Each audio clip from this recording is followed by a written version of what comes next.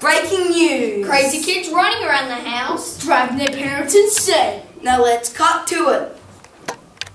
I never want to go to bed. I like to stay up late. I'm bouncing off the bedroom walls and frankly feeling great. I'm dancing like a maniac instead of counting sheep. My mum says Go to bed. My dad yells, Get your butt to sleep. I don't know what my bottom has to do with anything, but that's fine because I just rather jump around and sing.